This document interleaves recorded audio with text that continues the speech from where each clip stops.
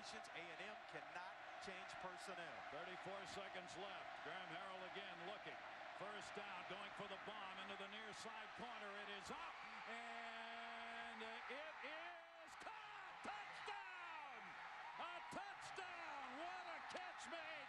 Robert Johnson, 37 yards.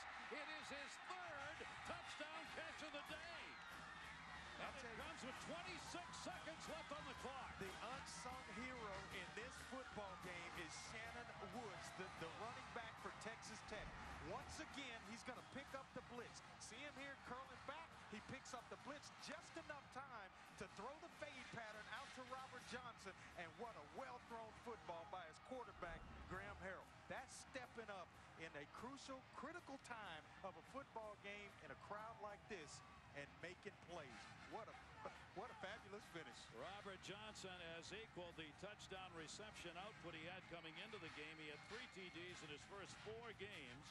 Has caught three TDs in